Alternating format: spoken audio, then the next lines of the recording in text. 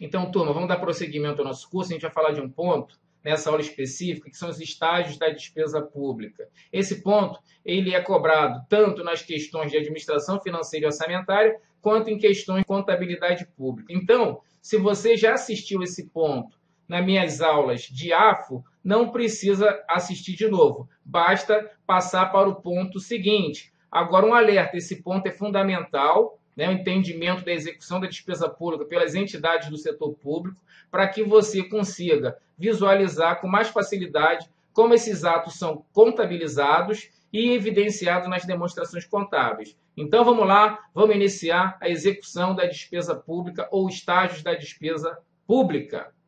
Então a gente já tem aí uma visão, né? a gente vai ter uma visão ampla aí dos estágios que a gente vai trabalhar. Só para a gente já começar aqui a fazer uma observação, ó, os estágios são fixação, empenho, liquidação e pagamento. E eu sempre gosto de usar essa siglazinha aqui, ó, FELP, para vocês gravarem. Então, o PLA são os estágios da receita, previsão, lançamento, arrecadação e recolhimento. E o FELP né, são os estágios da despesa, fixação, empenho, liquidação e pagamento. Então, como vocês estão visualizando aí, é uma sequência que toda despesa para ser realizada vai ter que passar, beleza? Eu vou sair aqui da tela para a gente conseguir fazer uma visualização melhor aí dos estágios. Então, são quatro estágios, né? Fixação, vamos analisar aí o primeiro. Fixação foi o que a gente mais trabalhou. Então, vamos pegar aqui um exemplo, né? Porque através desse exemplo a gente consegue é, visualizar essa sequência de despesas, né? Então, a gente está falando aqui, ó, de aquisição de um veículo avaliado em 50 mil. Então, vamos supor que o governo quer realizar uma despesa é, com aquisição de veículo avaliado em 50 mil. Então, a primeira etapa né, é a fixação.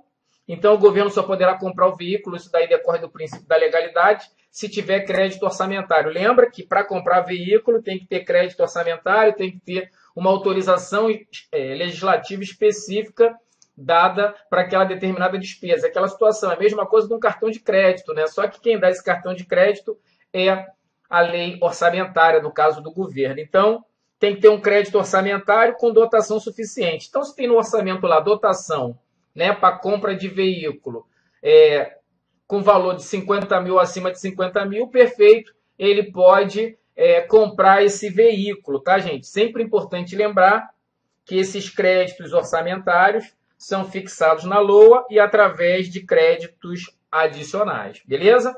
Então, basicamente, essa é a primeira etapa, é a etapa da fixação, que é dada pela LOA ou mediante créditos adicionais. E lá que a gente vai encontrar o crédito orçamentário, vai saber se tem crédito orçamentário para compra de uma determinada despesa e a dotação. Beleza, passada essa primeira etapa, o governo, claro que ele não pode chegar numa concessionária e, e comprar um carro diretamente, né? O governo ele tem efetivamente que fazer o que a gente chama de licitação. Então, entre os estágios da fixação e empenho, eu já vou botar essa observação importante aqui, que é aqui que nesse momento que acontece a licitação. Então tá aqui pequenininho, tá gente? Mas é destacado no material de vocês que nesse momento vai acontecer a licitação. Inclusive está aqui no nossa observação, né? O governo escolhe o fornecedor, então quem vai fornecer o carro através de um procedimento administrativo chamado licitação. Eu não vou falar muito de licitação, porque licitação é matéria de direito administrativo, vocês vão trabalhar essa matéria dentro do direito administrativo. É lógico que tem casos de dispensa ou inexigibilidade da licitação. Então, isso também tudo é tratado no estudo da Lei 866, né? uma lei que regulamenta a questão da, dos casos de licitação, dispensa e inexigibilidade. Então, é feita a licitação e aí sim você vai escolher o fornecedor, quem vai fornecer aquele veículo e qual vai ser o valor de fato, né? Porque ele fez uma previsão de 50 mil, mas pode ser que na licitação ele consiga um preço menor e vamos supor que o preço tenha sido 45 mil. Beleza. Aí vai acontecer o segundo momento, que é o momento do empenho. Então, o que, que é o empenho? Na prática, é o, o empenho ele reserva uma parte do orçamento que foi é, efetivamente autorizado na LOA para uma despesa específica. Então ele vai empenhar, ele vai reservar, né? É uma reserva, ele vai fazer uma reserva daquela parte, daquele crédito orçamentário para a despesa que específica. Ele vai fazer esse empenho no nome da, da, da empresa que ganhou, né? O fornecedor, no nome, no nome do fornecedor que ganhou a licitação e pelo valor que foi é, estipulado na licitação, beleza? Então ele faz o empenho essa reserva. Então, ó, tá aqui, ó, o empenho é a formalização do compromisso de pagar feita pelo governo através de uma reserva orçamentária em nome do fornecedor. Então ele já fez, ele já tinha feito a licitação, né? Então ele já sabe o fornecedor, o valor, ele faz o empenho, ele faz essa reserva desse crédito orçamentário. Perfeito. Aí já aconteceu o segundo estágio da despesa, que é o empenho. Maravilha? Então é isso que a gente tem que gravar aí. Perfeito. Então vai dando andamento, depois que ele faz o empenho, aí sim o fornecedor pode entregar mercadoria. Então, ó, eu quero aqui deixar bem claro que entre o empenho e o estágio da liquidação vai acontecer o que a gente chama de fato gerador da despesa, que vai ser a entrega da mercadoria ou a prestação de serviço. Nesse caso, como é compra de veículo, é a entrega da mercadoria. Então, ó, a observação aqui, após o empenho, ocorre o fato gerador da despesa, que é a entrega da mercadoria ou prestação do serviço pelo fornecedor. Sempre importante lembrar que o empenho ele tem que ser, oh, perdão, o fato gerador ele tem que ser feito depois do empenho. O fato gerador não pode acontecer antes do empenho. E quando eu falar fato gerador aqui, eu estou falando realmente do fato gerador contábil, que é exatamente a prestação do serviço ou a entrega da mercadoria. Então, por exemplo, se a mercadoria foi entregue no dia 30, o empenho tem que ser feito antes do dia 30, tá bom? Então, primeiro acontece o empenho para depois acontecer o fato gerador. E aí, depois do fato gerador, depois que a mercadoria é entregue, também é entregue a nota fiscal, né? Desse, por, por esse fornecedor. Aí um servidor público é responsável por receber essa mercadoria, olha, vê se a mercadoria está recebida corretamente, atesta a nota e manda para um setor. Esse setor vai promover a liquidação da despesa. E o que é a liquidação? Então vamos lá para o terceiro estágio, que é a liquidação. É uma conferência documental para verificar, visando verificar se o pagamento poderá ser efetuado. Então a liquidação é uma conferência para verificar se está tudo certo, se realmente o serviço foi prestado corretamente, a mercadoria foi entregue corretamente. E aí o valor a pagar é verificado na liquidação, que a gente vai estudar com calma, verificar se ele, ele não deve nenhum tributo, nenhuma, é, tem todas as certidões negativas necessárias, toda a documentação necessária para receber recursos do governo. Então, tudo isso é verificado na liquidação, que é essa conferência para poder verificar o direito adquirido do credor, que é o fornecedor, e liberar o pagamento. E aí vai acontecer o terceiro estágio da despesa. Beleza. Feita a liquidação, aí sim vai ser é, emitido o pagamento, que é o último estágio. Mas antes do pagamento, tá, gente? É emitido um documento chamado ordem de pagamento. Então, é emitido um documento chamado ordem de pagamento, que a gente vai conhecer um pouquinho melhor daqui a pouco. E aí sim vai acontecer o pagamento, que é o último estágio da despesa. E no pagamento é que vai sair o dinheiro do caixa. Então, é no momento do pagamento que o caixa do governo vai ser afetado que aí vai sair dinheiro para fazer o pagamento do fornecedor. E aí a despesa vai estar tá efetivamente extinta, né? vai estar tá realizada. Então, o pagamento é o desembolso governamental, é o dinheiro que sai do governo e é feito através de estabelecimentos bancários credenciados, que pode ser banco público ou privado. O governo pode ter, é, pode designar uma instituição financeira para fazer os pagamentos dos seus é, fornecedores. Em casos excepcionais, ó, pode ser feito inclusive por adiantamento, esse pagamento, que também é conhecido como suprimento de fundos, que a gente ainda vai falar no nosso curso, tá?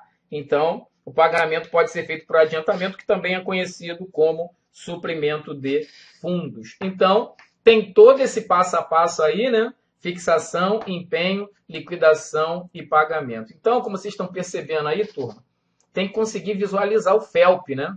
Então, lembrar aí dos quatro estágios da despesa: fixação, empenho, liquidação e pagamento. E lembrar aí do, da, que, que acontece entre os estágios. Então, a primeira coisa é fixar, aí vai ter a licitação para escolher o fornecedor. Primeiro tem que saber se tem crédito, né? crédito com dotação suficiente na LUA em créditos adicionais. Faz a licitação, empenha no nome do fornecedor, que é uma reserva desse crédito. Aí acontece a entrega da mercadoria, o fato gerador.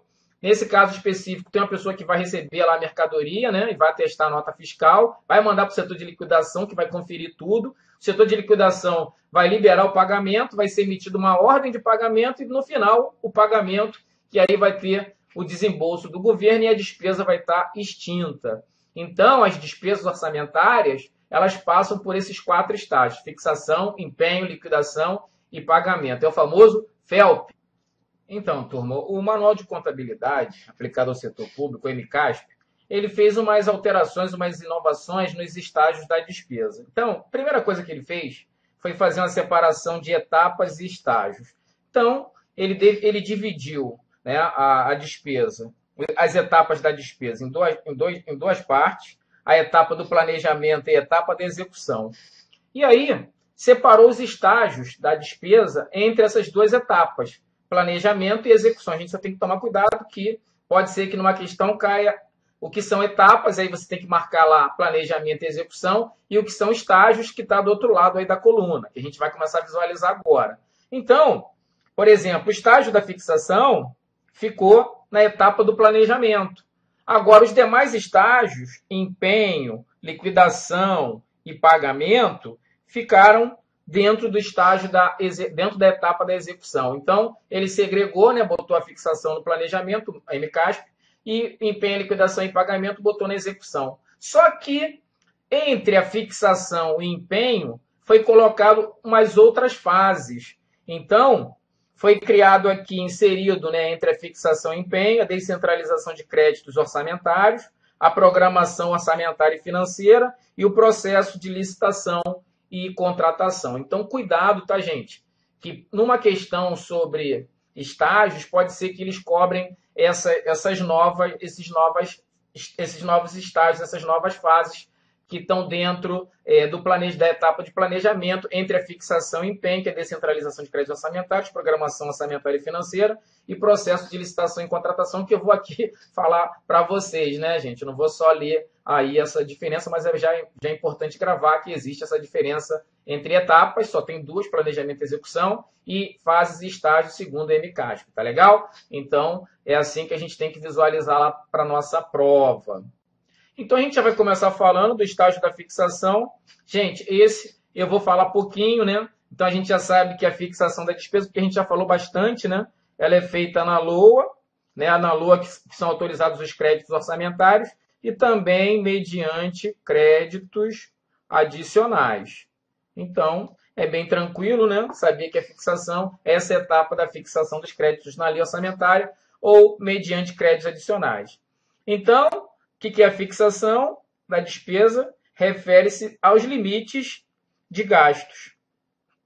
Então, é basicamente fixar, é, autorizar limites de gastos, né? Feita pelo. Lembrar que essa função é uma função que tem que ter aprovação do Poder legislativo, tá bom? Então as despesas elas são autorizadas pelo Poder Legislativo e a, o projeto de lei encaminhado pelo Poder Executivo, como a gente estudou. É interessante é, saber que o processo de fixação da despesa orçamentária é concluído com autorização dada pelo Poder Legislativo por meio de lei orçamentária anual, ressalvadas as eventuais aberturas de créditos adicionais no decorrer da vigência do orçamento. Então, cuidado com a possível pegadinha de prova, que eu tenho preocupação em passar para vocês, é no sentido de que pode ser que alguém fale que a etapa da fixação é competência do Poder Executivo. Não, o Poder Executivo até encaminha o projeto de lei com uma previsão de receita. Mas quem aprova essa previsão de receita ou fixação de despesa, né, nesse caso, fixação de despesa, é o Poder Legislativo. Por quê? Mesmo que depois tenha um veto do Poder Executivo, quando ele vai sancionar, esse veto pode ser derrubado pelo Poder Legislativo. Então, gente, cuidado Ó, inclusive, isso aqui é considerado, eu vou deixar aqui marcado aqui no nosso material, que é uma ilegalidade. Então, lembrar que é uma ilegalidade você ter uma, uma despesa, perdão, fixada menor do que a despesa realizada, que é aquela que de fato foi empenhada, né? Então, não pode, isso não pode. Então, lembrar dessa situação que é ilegalidade o governo realizar uma despesa num valor superior à despesa fixada. Ele pode realizar um valor menor? Pode. Não seria ilegalidade, porque, até porque o orçamento é autorizativo, ele pode deixar de realizar despesas que estão no orçamento, que tenha caráter discricionário, que sejam que sejam não vinculativas. Porém, se ele realizar uma despesa maior do que está fixada, né, na LOA ou mediante créditos adicionais, ele vai estar tá cometendo uma ilegalidade. Então, a etapa da fixação, né, essa primeira fase da fixação, é exatamente aquela que são definidos lá as autorizações de gastos, né, limite de gastos na LOA e mediante créditos adicionais, ok? Então, a gente já passa aí do estágio da fixação. Bom, então ainda na etapa do planejamento, né, que foi dividida lá pela MCASP em quatro fases, a gente tem também a descentralização de créditos orçamentários. E aí, olha só, a descentralização de créditos orçamentários ocorre quando for efetuada movimentação de parte do orçamento mediante classificação institucional, funcional, programática e econômica, que a gente vai estudar ainda mais à frente, tá, gente? Então não vou entrar nesse mérito agora, para que outras unidades administrativas possam executar a despesa orçamentária. Então, descentralizar é exatamente movimentar ação de parte do orçamento para que outras unidades administrativas possam executar despesas orçamentárias. E aí vamos fazer a primeira leitura do material, depois eu vou fazer uma explicação. Quando envolver unidades gestoras de um mesmo órgão, né? então for unidades gestoras do, do mesmo órgão, a gente tem o que a gente chama de descentralização interna, que também é chamada de provisão. Então, provisão seria uma é, descentralização né, de crédito entre unidades do mesmo órgão. Já também existe né, é, as descentralizações externas, que são entre unidades gestoras de órgãos ou entidades de estruturas diferentes. Então, nesse caso, a gente está falando aqui de descentralizações externas. Aí, a descentralização externa é chamada de destaque. Então, olha só: descentralização interna de créditos, provisão. Descentralização externa de crédito seria os destaques. É assim, gente. Claro que essa parte a gente vai visualizar quando a gente falar de classificações institucionais, que é mais uma parte ligada à programação da despesa. Mas a LOA, então vou aqui destacar para vocês a LOA. Vou até sumir um pouquinho aqui do, do, do quadro, né, para ficar mais fácil. Então a LOA, ela, ela, ela tem lá a divisão, né, do, do orçamento. Vou botar aqui só duas, né, mas ela tem uma divisão do orçamento em vários órgãos. Então tem, vamos botar aqui o órgão X. Então a gente tem o órgão X e aqui a gente tem o órgão Y. É assim que o orçamento é feito, né, dividido em órgãos. Só para a gente ter uma ideia, vamos supor que pode ser Ministério da Educação, o órgão Y pode ser Ministério é, da Saúde ou Ministério do Planejamento. Então a, LOA ela divide, né, as suas o, o orçamento em órgãos. E aí dentro de cada órgão pode ser que tenha unidade, várias unidades gestoras. Então, vamos supor que no órgão A tem a unidade gestora, que eu vou chamar aqui de UG, unidade gestora A, e tem a unidade gestora B. E vamos supor que o órgão Y também tenha duas unidades gestoras, ou seja, que executa despesas, realiza aí atividades, né? A unidade gestora A também, e a unidade gestora B pertencente ao órgão Y. Pode ser, por exemplo, que o órgão Y seja, vamos supor, Ministério da Educação. E dentro do Ministério da Educação tem a unidade gestora Universidade Federal do Rio de Janeiro e, unidade, é, e por exemplo, uni, é, Universidade Federal de Pernambuco. Pode ser duas unidades gestoras diferentes. Tá? Então, por exemplo, se por acaso a unidade gestora A transferir orçamento para a unidade gestora B, a gente tem aí descentralização de créditos entre duas unidades que pertencem ao mesmo órgão, ao órgão X. Então, o nome dessa, dessa descentralização de crédito de duas unidades gestoras que pertencem ao mesmo órgão é chamado de, como a gente já destacou, provisão. Então, quando uma, uma unidade transfere orçamento para outra unidade, essas duas unidades pertencem ao mesmo órgão, a gente está falando aqui de provisão. Então, o nome dessa descentralização é provisão. Agora, se a unidade gestora B transfere recursos para a unidade gestora A de outro órgão, aí o nome já não é mais provisão. Aí, nesse caso, é uma descentralização externa. Então, a gente tem aqui o que a gente chama de destaque. Então, a diferença da descentralização chamada de provisão é que ela é feita entre unidades gestoras do mesmo órgão e o destaque é quando a descentralização de orçamento, de créditos orçamentários, é feito entre unidades gestoras de órgãos diferentes, tá bom, gente? Então, lembrar que a provisão seria uma descentralização interna, porque é do mesmo órgão, unidades gestoras do mesmo, mesmo órgão, e o destaque seria uma descentralização externa, tá bom? Então a letra é feia, né? Estou tentando melhorar, juro, mas está complicado. Mas assim eu já vou falando, né? Já vou narrando para vocês que provisão é descentralização interna e destaque é descentralização externa, tá bom? Então, depois da etapa da fixação, ainda pode ocorrer é, descentralizações de créditos orçamentários entre unidades gestoras. E aí, se for entre unidades gestoras do mesmo órgão, provisão, órgãos diferentes, seria destaque. Tá legal, gente? Então, cuidado aí com a etapa do planejamento. Dentro dela tem agora descentralização de créditos orçamentários.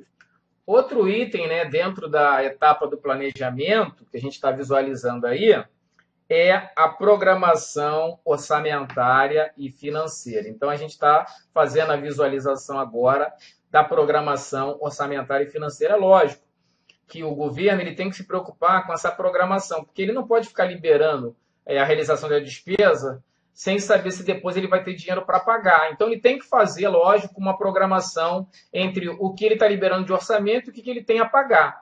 Então, vamos analisar o que é programação orçamentária e financeira. Então, a programação orçamentária e financeira ó, consiste na compatibilização dos fluxos de pagamentos com os fluxos dos recebimentos, visando o ajuste de despesa fixada às novas projeções de resultado e da arrecadação. Então, a gente tem que separar dois mundos, né? Os mundos orçamentário do mundo financeiro, o mundo orçamentário do mundo financeiro. O mundo orçamentário, ele vai estar falando de crédito, de autorização para gastos. Então, ele, o que, que ele faz? Quando a lei é aprovada, você tem uma receita prevista e com base nessa receita prevista, você fixa suas despesas. Porém, tem o um mundo financeiro.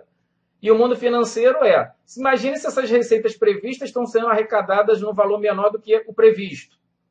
Você vai ter que o quê? fazer uma compatibilização, você vai ter que também reduzir gastos. Então, essa compatibilização entre os fluxos de recebimento e pagamento tem o nome de programação orçamentária e financeira. E olha o detalhe: se houver frustração de receita estimada no orçamento, deverá ser estabelecida o que a gente chama de limitação de empenho e movimentação financeira, com o objetivo de atingir os resultados previstos na LDO e impedir a assunção de compromissos sem respaldo financeiro, o que acarretaria uma busca de socorro no mercado financeiro, situação que implica encargos elevados. Gente, o que eu quero aqui dizer para vocês em relação à programação orçamentária financeira é que a lei de responsabilidade fiscal, no artigo 9, tá, gente, que a gente vai trabalhar um importante artigo da LRF, fala que caso haja risco de não cumprir as metas fiscais, essas metas fiscais de resultado primário e nominal, depois eu vou falar também, são estabelecidas na LDO. Quando tem risco de não cumprir, o governo tem que fazer limitação de empenho. Então, como é que ele faz essa, como é que ele faz essa análise? Ele verifica o comportamento da receita e com base no comportamento da receita, se, se tiver uma frustração de receita, ele também limita despesas. E para limitar despesas, ele tem que deixar, evitar com que ela seja empenhada, porque depois que ela é empenhada, já fica difícil de cortar. Então, o ideal é cortar logo a emissão de empenho. Lembrar que o empenho é prévio, ou seja, o empenho ele é realizado antes da despesa, porque depois que a despesa é realizada, o governo tem que pagar. Mas enquanto ele não realizou, ou seja, enquanto não emitiu o empenho, ele não é obrigado a pagar, porque o empenho é prévio, o empenho tem que acontecer antes do fato gerador, em regra. Tá bom, gente? Então, isso que seria a programação orçamentária e financeira. Então, só para a gente fazer também aqui né, uma visualização é, dessa, desses procedimentos, vamos supor que numa lei orçamentária, né, na LOA, você tenha lá uma previsão né, de um lado receita, botar aqui, né, do outro lado despesa. Então vamos supor que a meta é ficar zero a zero, ou seja, a meta seja não gastar mais do que arrecadou. Vamos supor que seja uma meta zerada, nem rombo, nem excesso. Então vamos supor que ele tinha previsão de arrecadar 100, e aí ele gastaria 100, e aí ficaria com zero, ou seja, a meta é zero, nem, nem 1%, nem menos 1%, a meta é zero. Mas vamos supor que ele só arrecadou 90.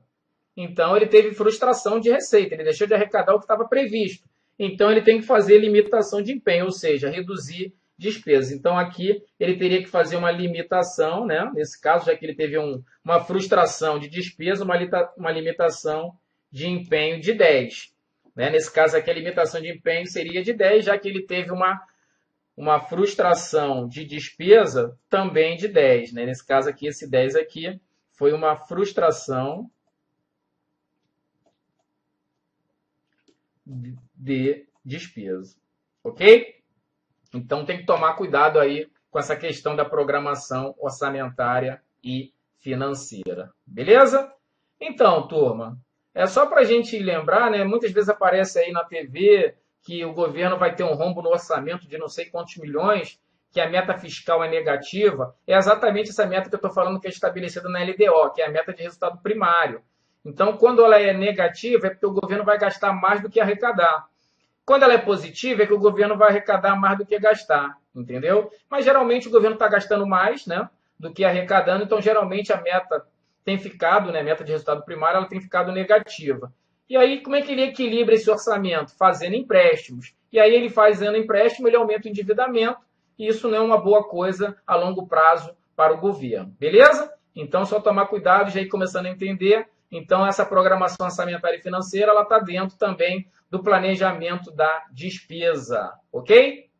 Bom, mais um itemzinho aí, né, que são, são quatro etapas dentro da fase do planejamento que a gente já estudou. Agora, a última etapa, né, ainda na parte do planejamento da despesa, que, que é a licitação e contratação. Então, é importante lembrar, né, licitação e contratação está regulamentado né, na Lei 866, principalmente, né? Tem a lei do pregão, registro de preço, tem várias coisas. Isso daí é direito administrativo, eu não vou falar disso aqui, né? Então, só para lembrar que é dessa forma, né? licitação que o governo escolhe o fornecedor, ele não pode escolher por sua livre vontade. É lógico que tem alguns casos que ele pode, que são casos de dispensa de exigibilidade, mas aí também tem que ter previsão legal. E lembrar que a licitação e a contratação, ela tem que acontecer antes do empenho. Então, vai estar entre aquelas fases, né? Vai estar entre aquelas fases da fixação e do empenho. Entre a fixação e o empenho, tem que acontecer lá a licitação, tá? Aí vai acontecer a licitação e, consequentemente, a contratação. Perfeito? E aí, depois da contratação, depois da licitação feita, aí sim vai ter o, a emissão da nota de imposto.